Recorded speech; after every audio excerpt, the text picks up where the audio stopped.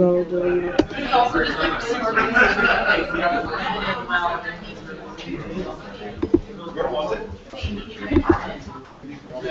I'm actually been trying to this semester too. Have a general office down here, so it's more like a sales. It's actually way more. Hey, You can use my phone Chromecast. You can use my Chromecast. yeah, hey. I'm on my phone. Give- One second, let me put some headphones in so I can hear you.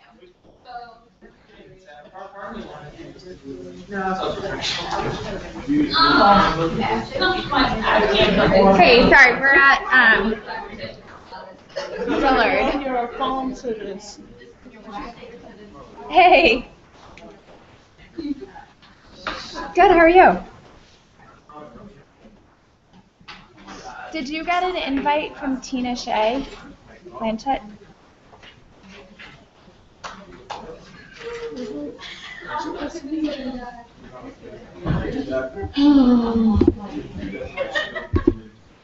Let me resend it. What's your What's your personal AS? Yeah. Yeah. Okay, let me send that. We might also want to. Okay, I just sent it again. It could have also gone. It might have also just gone to um, spam for work.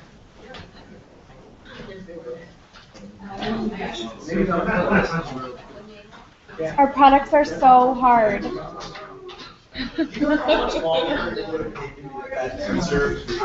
Okay, you should you should see me in a second. I'm on Tinashe's. Okay. Did you get the invite? Yeah.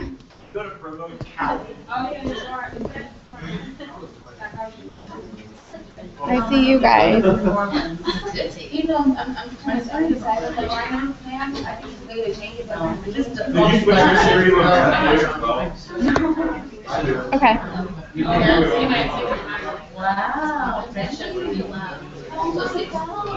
Do you know where the, I'm sorry. You know how to, um, dim the lights in here so that we can get, use the sensor guide when you start looking better on here then. Oh, actually, dim the lights? Yeah. I'm sorry, yeah, we try to turn them off one by one.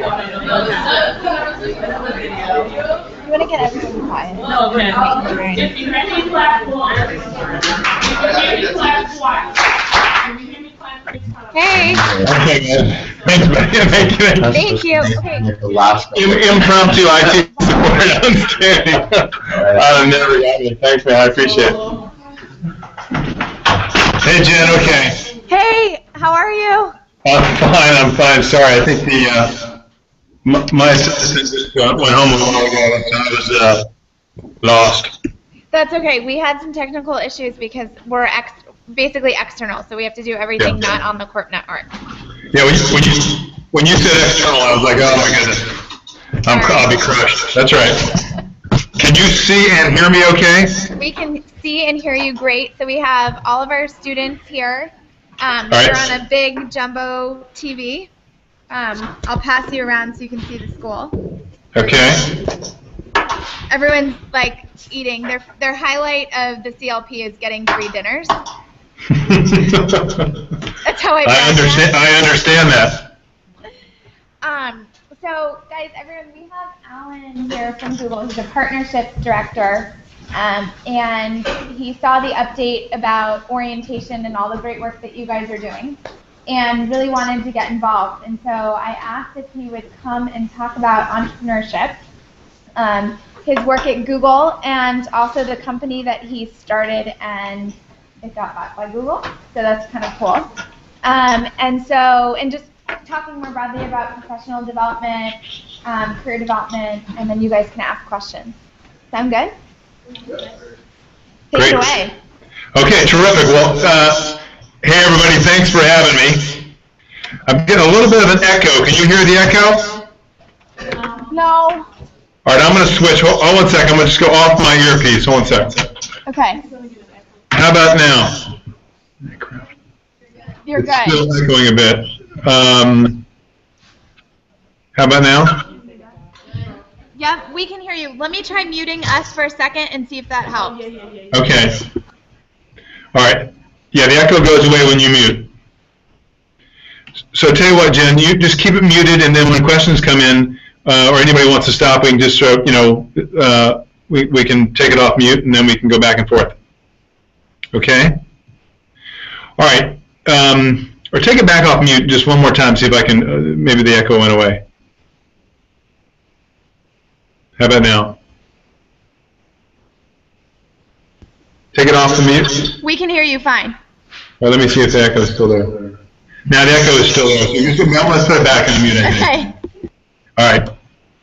All right. So let me uh, let me jump in and uh, sorry for the technical difficulties here leading off, but it's uh, it's nice to uh, to um, have a chance to talk to everybody. Um, so my name is Alan Masarek.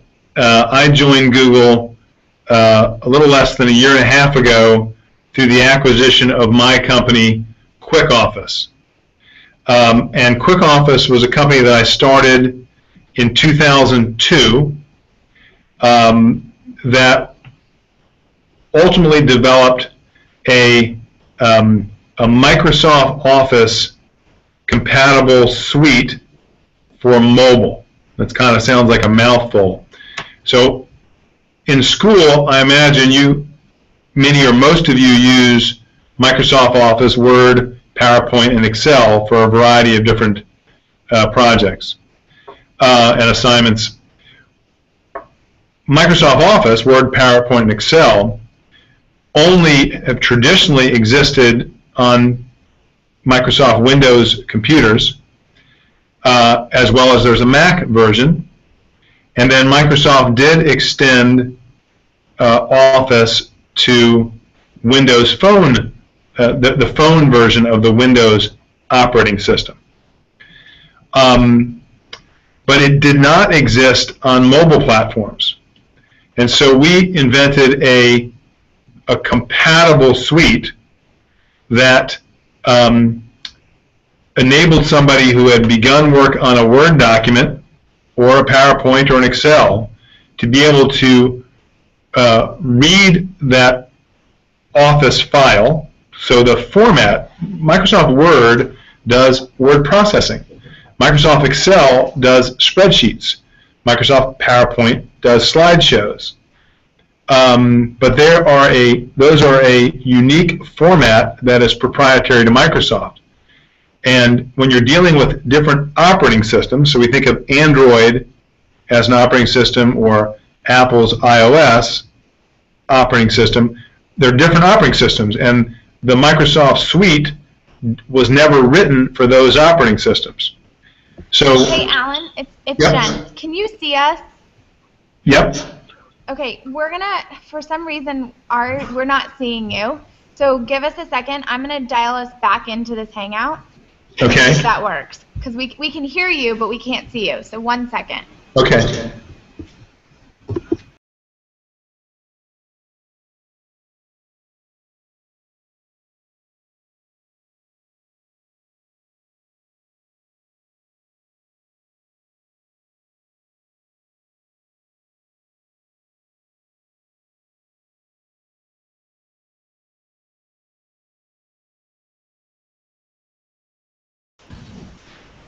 Okay, we're back.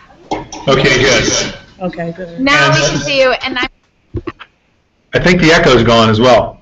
So take off the mute. oh, great, okay, I think it's gone, yeah. okay. No, no, it's back. No, okay, I'm gonna mute Yeah, us, mute sorry. Okay. All right, so everybody can continue to still see me, so thumbs up? Okay, good. See Jen's thumb come into the picture. So, uh, uh, so again, so when Microsoft, you know, developed Word, and PowerPoint, and Excel to do word processing and slideshows and uh, spreadsheeting, they did not extend those software applications to other operating systems. So many years ago, started this in 2002, before there was Android, before there was iOS, when there were other operating systems, Palm, BlackBerry, Symbian, um, we developed this Microsoft Office compatible suite for those other platforms so that when somebody was on their, um, back then, smartphone, and then later also tablets, they could work with their Office files. Um, Office, Microsoft Office format files. I mean, obviously use them at school all the time. And the most typical way that you're going to use those is you're going to get them through an email attachment. You know, as you're sending versions of things back and forth. Um, but with our software, you now have the ability to work with your files while you were mobile. And like many startups, and you know, you all have interest in the startup area. Um, there's quite a bit of change. There's a tremendous amount of change that goes on, uh, particularly in the early years of a startup, because I mean, literally nothing ever goes in a straight line.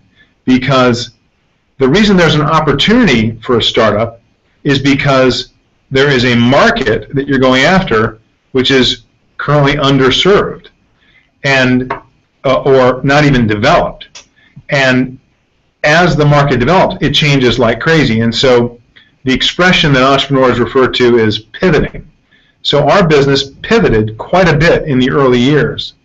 Uh, and actually, we really settled on this mobile office or mobile productivity play in 2005. And 2005 was a was very early. The smartphone world was um, pretty early back then.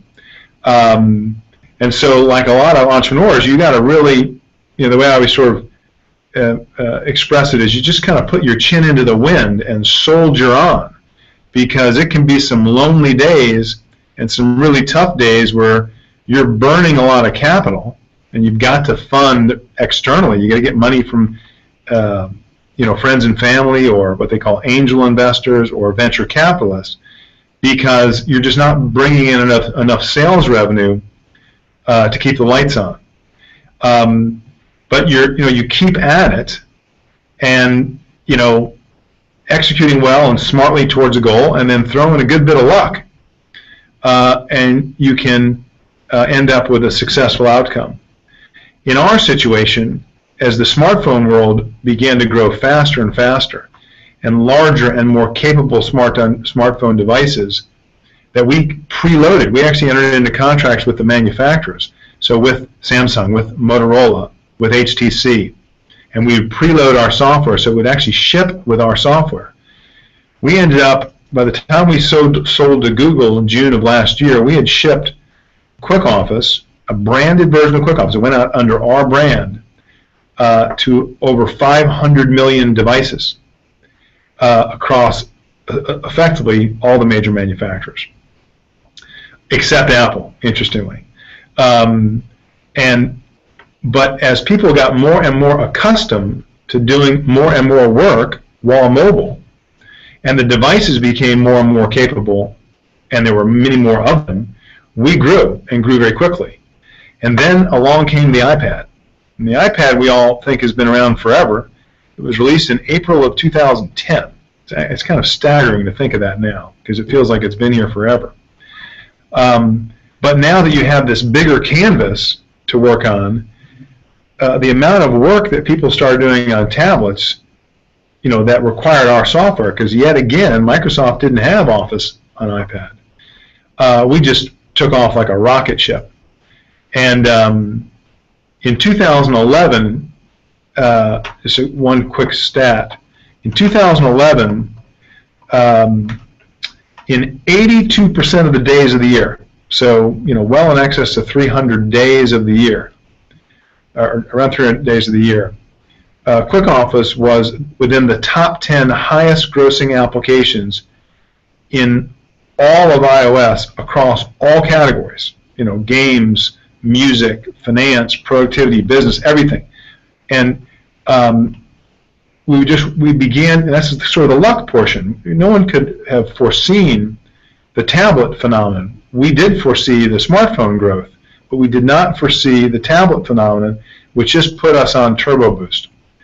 Um, now, our relationships with what's interesting, I think, if you think about us, is everybody knows these massively successful, you know, venture capital-backed companies, you know, Facebook or Twitter, uh, that are worth billions and billions and billions of dollars. And we didn't sell to Google for billions and billions of dollars, but we had a very, very, very excellent uh, sale to them. But it, I think it's interesting to think about a company that is, you know, we at the end were about on a run rate of about $50 million in sales, about 340 employees. So we were a mid-sized company, had grown very, very quickly. Um, but and we were sort of household name in certain uh, areas to people who you know actively used you know, their smartphones and tablets for productivity. Um, but you know, we were not uh, you know not some of the household names like a certainly like a Facebook or a Twitter. Um, but we began to develop a relationship with Google because they licensed our software, um, and um, then they licensed our software again for a different purpose a year later. So the first time in 2010, the second time in 2011, which then ultimately culminated in uh, their acquisition of us uh, in June of 2012. So I, want to stop there for a minute and I want to open up for questions because I want to talk about what life is like inside Google and um, uh, and as some of you are interested in internships and you know interviewing Google, but you know I want to make sure I'm on the right track. So let's take it off mute. Let me feel that there are, if there are any questions that people would like to would like me to address. Question? Yeah, you guys want to come up? Or you want to ask one, Jeff? Well, I'm just kind of curious what happened between 2010 and 2012. Like, What happened? did Did, that- did you, can you hear that question? Yeah. Okay. Uh, I'm sorry, you're saying what what happened to the company between 2010 and 12? Yeah, like how did you get to the point of being? uh, Say that one. How did you get to the point to where you got acquired? Like, what, what was the growth like in between those years? Uh, you know, I, I spend a, a lot of time with entrepreneurs, and, and one thing that I tell them all the time is that um, almost always co- companies get acquired by friends. Uh, uh, friends, I sort of say with quotation marks around it. What I mean by that is if a large company like a Google buys a smaller company like QuickOffice, it's because they're very familiar with you. It's very rare that you know some investment banker picks up the phone and calls the head of the acquisitions department of a big company and says, "I've got this great, you know, small company you should buy. You know, take a look at the materials and come buy them." That does not happen very often, and so the relationship we developed a very broad and deep relationship with Google around some really important software. So, uh, if some of you, I'm sure many of you use Google Docs, and Google Docs is They have to. what? They have- Google Docs is, uh, you know, now people think of it as Google's version of Microsoft Office, and they've got, you know, docs and slides and sheets, which is word processing, uh, you know, um, uh, presentations and spreadsheeting. Uh, and it's really built around a collaboration framework so that, uh, you know, two people or ten people can co-author a document at the same time. So what they call real-time collaboration.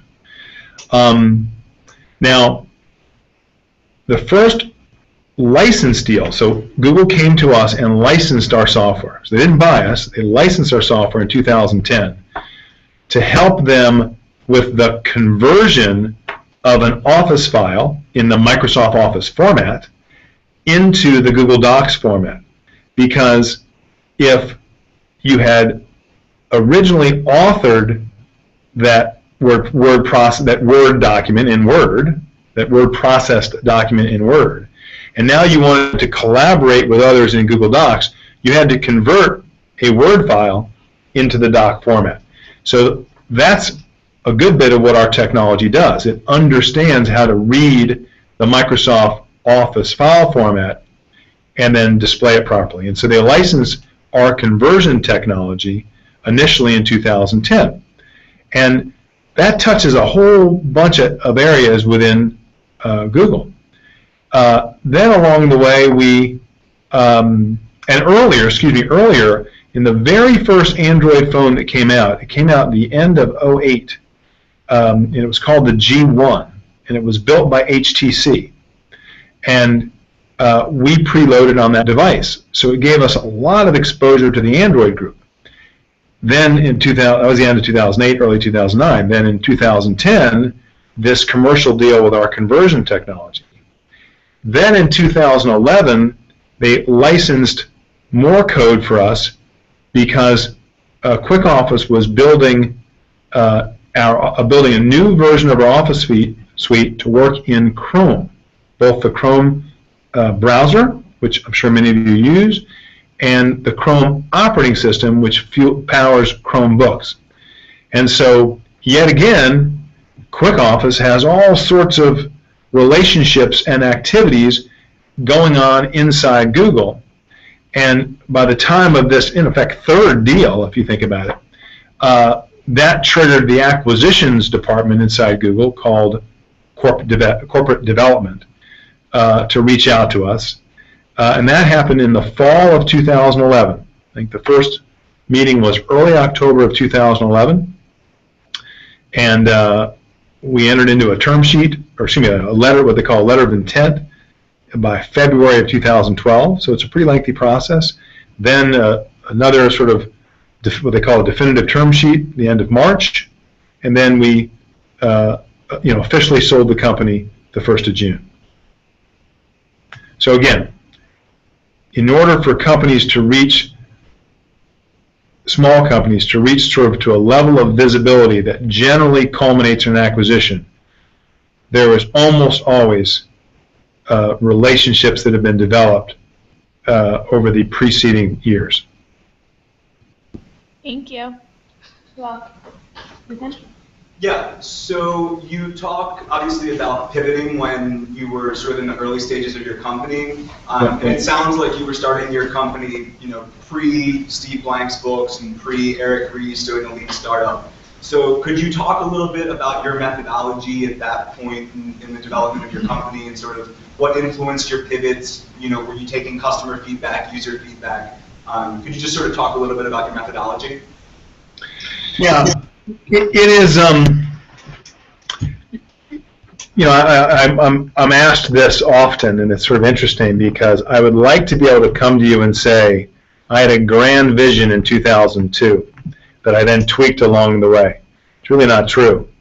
In 2002, I saw a financial arbitrage uh, because there was an opportunity to spin a product line out of Palm, you know, the makers of the PDAs.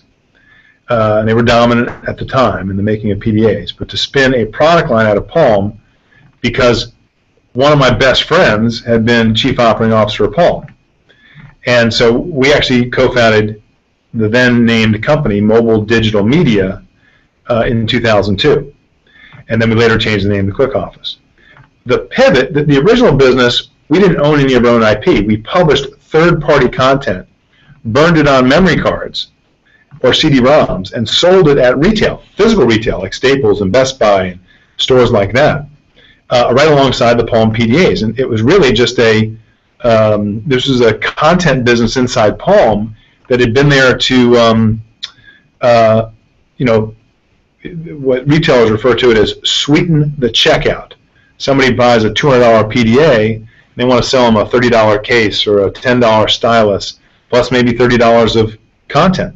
And the content, you know, which is software burned on memory cards, you stick in the back of the Palm PDA. This is before wireless was very prevalent. And so that was the original business. Well, I found out pretty quickly I didn't really like being a retailer.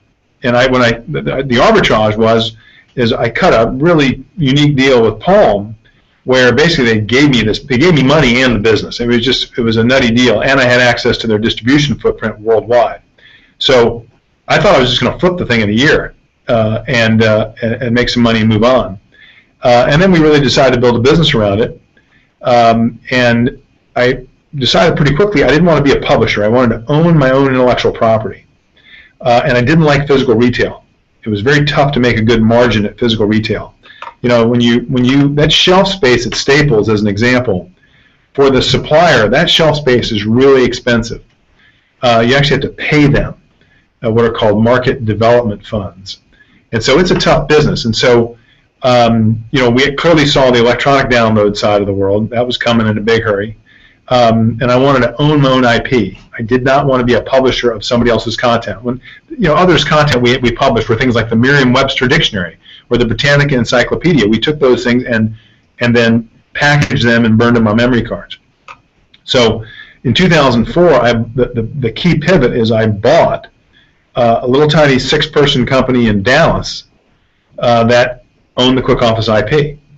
And uh, we then, I sold off the publishing unit to sort of fund what I was doing on the now newly purchased Quick Office side, and then changed the name of the company around the key product, around Quick Office. But it's been the same legal entity ever since 2002. Um, and then on the strength of a relationship we have with Nokia, and remember this is a Dallas-based company, uh, Nokia's U.S. headquarters was down the street. So through some personal relationships yet again, uh, we were able to cut a deal with Nokia to be the office suite for all their phones.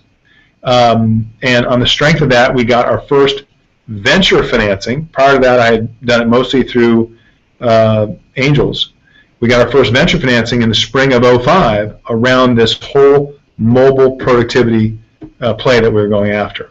And we really, since the spring of, since basically the beginning of 2005, we executed on that path um, uh, with I wouldn't call them pivots. We obviously changed our execution strategies frequently, but no you know, like huge pivot in the business from going one path you know before and now going to a completely different path.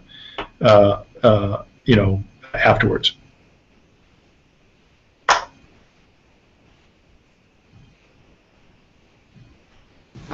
One more question before you continue. Um, Loud, speak up. What were the goals that you were trying to uh, establish with uh, Quick Mobile, and um, what were some of the roadblocks or speed bumps that you came across on your journey? Can you hear that? Uh, the goals we're trying to establish with Quick Office. Yes. Yep. And some of the speed bumps that you hit. How'd you overcome them? Great question. It's a great, great question. So, um, we wanted to be the worldwide leader in mobile productivity, and we actually achieved that. Um, uh, and remember, it's mobile productivity. So when we started, very, very little productivity happened on a smartphone other than email. You know, many of you, I'm sure, have Blackberries. Um, you know, you're a little younger than I have a 23-year-old daughter. When she was in college, uh, all of her friends had Blackberries, not for email, for BBM, and now no one. Now they've all gotten rid of them. But the you know back then, the, the killer application on a smartphone was email, um, and that was really the productivity thing that people did. Um, and so we wanted to, since you know people were sending their attachments, mostly Office attachments, in email, we really wanted to dominate that mobile productivity segment, and you know we ultimately did. You know we were the biggest in the world, shipped on 500 million devices. We did very very well there. Um, we built a great brand, uh, and matter of fact, I mentioned before that we were not preloaded on. We are still not preloaded on Apple, and um, but the fact that we had built so much brand recognition by being preloaded on 500 million devices, when Apple came along, it helped us immensely because people knew us. You know, because anybody who bought an iPhone came from somewhere else. Uh, you know, some other you know phone uh, manufacturer. Um, so speed bumps, right. You know, I tell entrepreneurs all the time, you know that, uh, you know, money is oxygen, and without oxygen, you die. Without money, you die. And so, in that period of time, from 2005 to 2007, were kind of lean years for us because it was very difficult to find um, to sort of accumulate a revenue base. Our revenue in those two years uh, was about a million dollars a year. I, I told you we sold, we were you know on a $50 million run rate for 2012. Can you just give me one second? I got to run and get a power cord, or I'm gonna lose you. Hold on, quick. Yeah, yeah, yeah. Interesting, right? Well, we, the news is we can, we can look at the questions. We're gonna have to edit it. edit the questions? No, no, no, no, edit.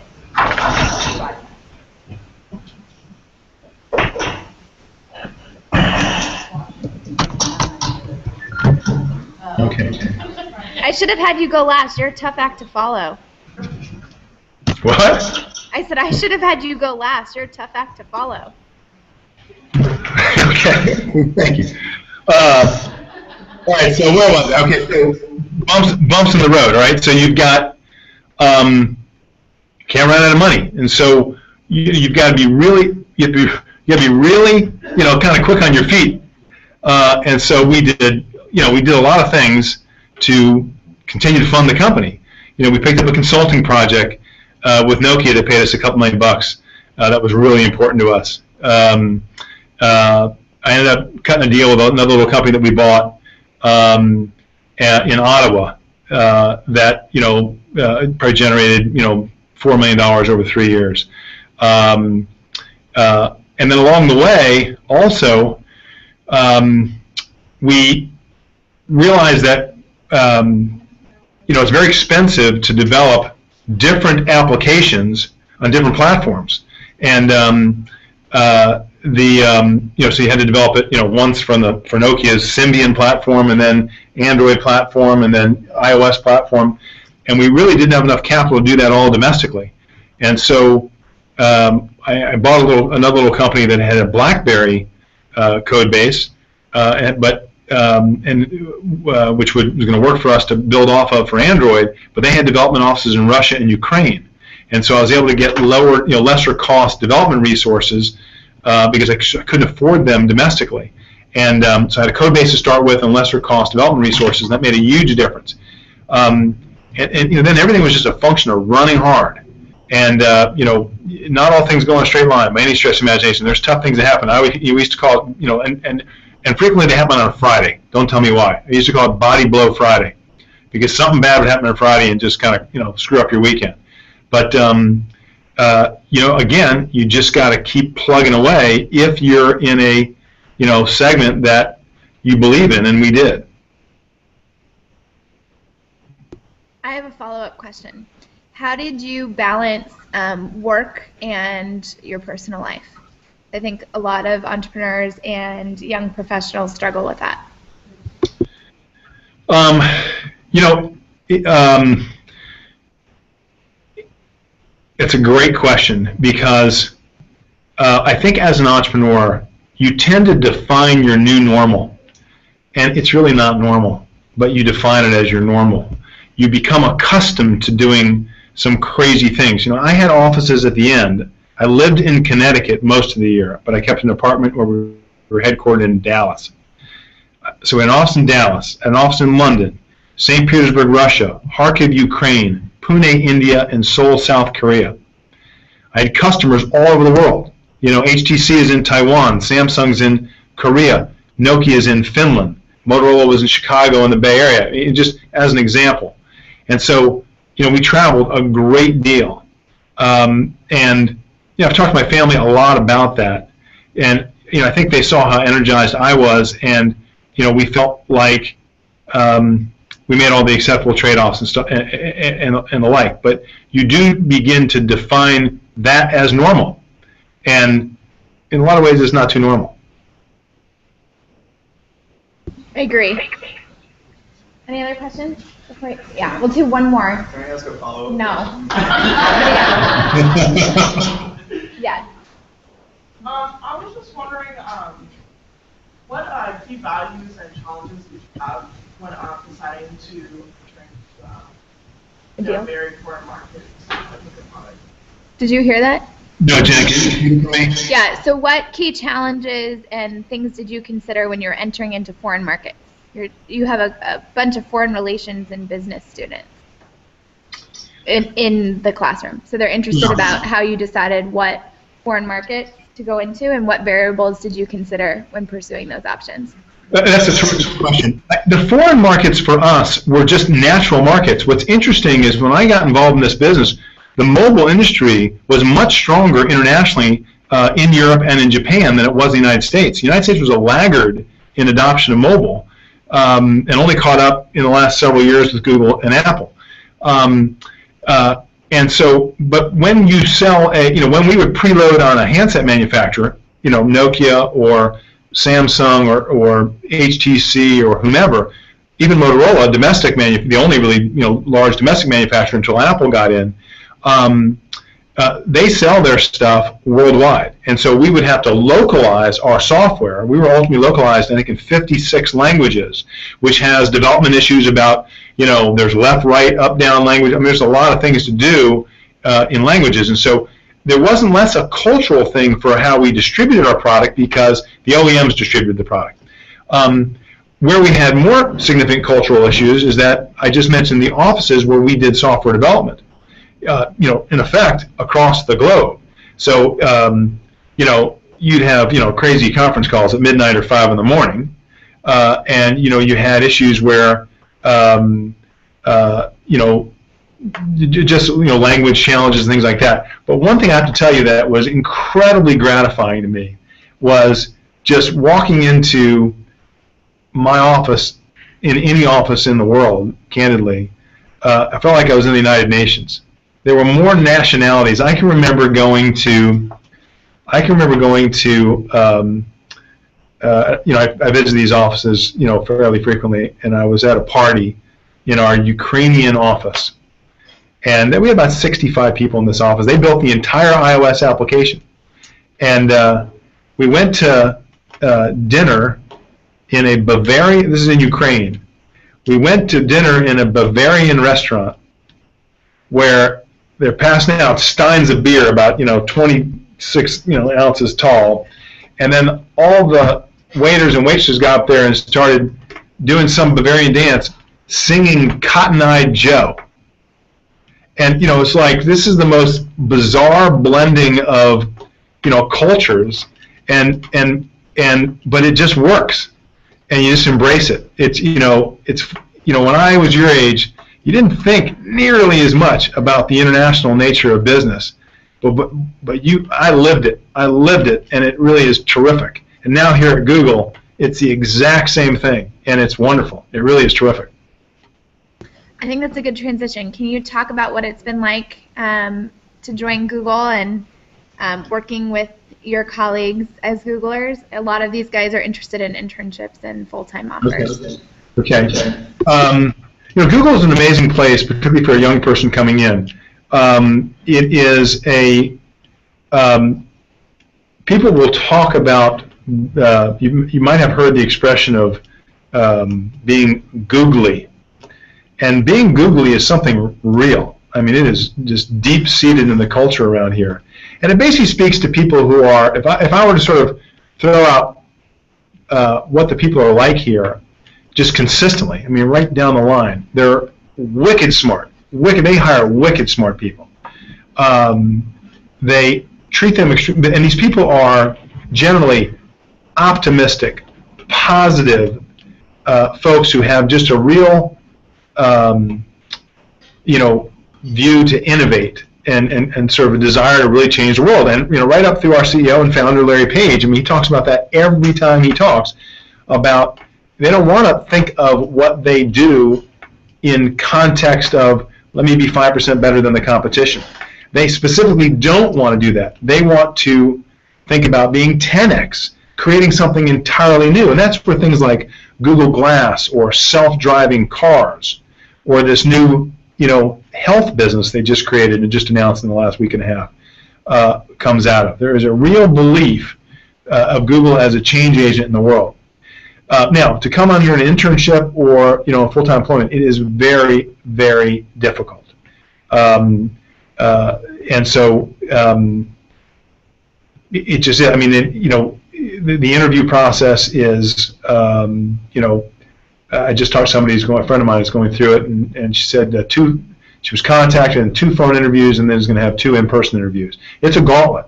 It's a gauntlet. You go through a hiring committee, and know I didn't go through that because in the same way because I came through an acquisition, um, but um, it's a gauntlet. It's tough, but it's worth it once you get here. It's worth it once you get here.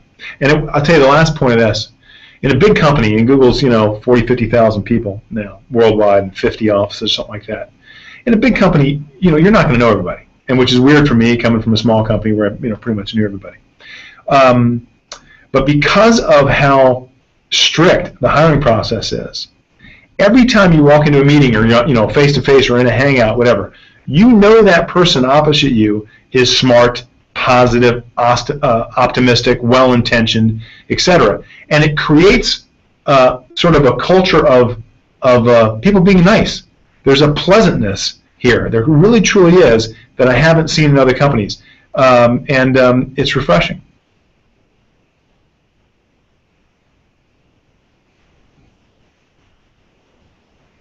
Other questions? Ambuja? Nope, I'm here. I just didn't unmute. Before you started talking about life at Google, Okay. can I go? Yeah. Um, Speak very loud. okay. So it seems as if you harness, you know, luck, but how important was the user experience on developing the golf? Because I'm sure that had, you know, a bit to do with how you guys developed and who you developed with. Did you hear the question? No, Jim. Yeah. So um, she commented that you were very lucky. How important was the user experience with QuickOffice versus luck? So the um, uh, We have some jokesters here. It's New yeah, good. we weren't that lucky. We did some things well. Um, the uh, I'll take luck over hard work, but come on. Um, now the user experience is critical. So it's critical. The the the, in all seriousness, you earn your luck. Um, you know, good fortune has to come by, but you earn your luck. If our product wasn't good, and then enabled us to win each time in a competitive process against other companies to win distribution of Samsung or HTC or Motorola or whomever, Nokia, et cetera, et cetera. Um, uh, to have software that was architected in such a way that, you know, we could convert Microsoft Office files cleanly into another format and then permit people to edit them and round trip them back. If it wasn't, if it didn't provide a good experience, um, uh, we would not have been successful.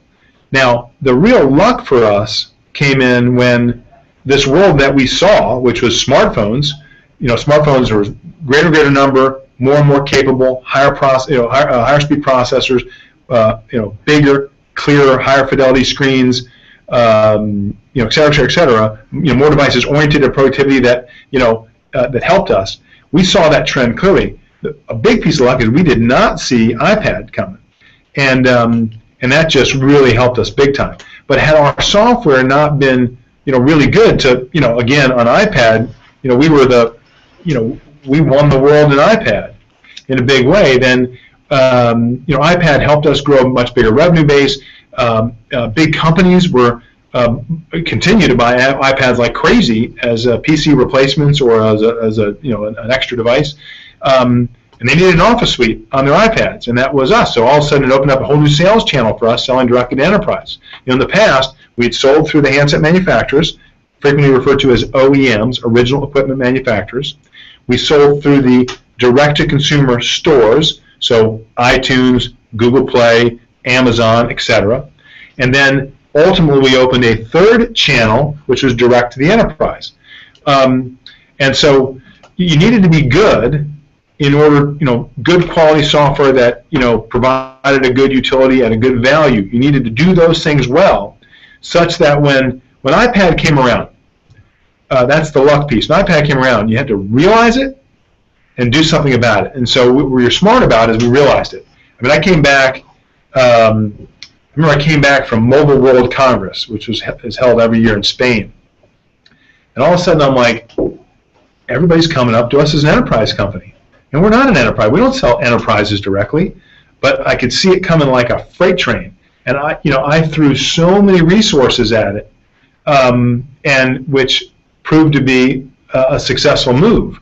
Um, and you know, it's interesting. Back in the day, um, we started where we really were, you know, had our first real strength was in Symbian. Before Android and before iOS, Nokia's Symbian platform controlled 80% of the world's smartphone market. We had a competitor who had the embedded relationship with uh, BlackBerry. Um, we pretty much abandoned Symbian and went all hands uh, into Android and iOS. Our competitor, believing that there was no better platform than BlackBerry, because you know business users are the ones who held you know mostly used Blackberries back several years ago before BBM, and that who better to be on, than to be on BlackBerry, stuck to their knitting big time on BlackBerry. They came later to iOS and Android, but much later. Um, it crushed them because obviously we know what's happened to BlackBerry. It's sort of you know going away in a huge hurry. Um, while our decision to go cross-platform to iOS and Android, which was expensive, um, was uh, in hindsight the right the right call. Plus, we were lucky. well, I know we are way over time, but I just wanted to say thank you for Okay. everything. I don't know if you have any last words of wisdom. I know you guys have lots of questions. We'll send an email with questions. Okay, well, listen, uh, you know, um, being an entrepreneur can be very rewarding. I warn entrepreneurs all the time. I say if you have a great idea, I don't want to end on a bummer, but I'm going to tell you this anyways. If you have a great idea, and you work really hard, and you do everything that you think is right, chances are it'll fail. That's a bad thing to say. Entrepreneurship is hard. You're subjected to a lot of risks that you really can't control. You know, technology changes so swiftly. Consumer tastes change so swiftly. And that can hit you, you know, like a two by four against the head, and you just can't do much about it. So there is an element of luck in it. Even if you do everything right, odds are still stacked against you. So you got to have passion for it. Do it because of that passion more than anything else. Um, and if one fails, and I've done three startups, and one was a very expen- personally expensive failure, uh, the um, you know you just got to sort of accept the volatility and keep plugging away and keep plugging away and enjoy it. It's a crazy life, but enjoy it. But listen, I, I enjoyed speaking to everyone, and send me questions, and uh, love to do it again sometime.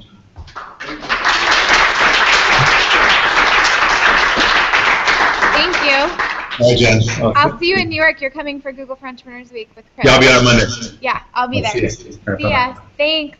Sure, Bye. bye-bye.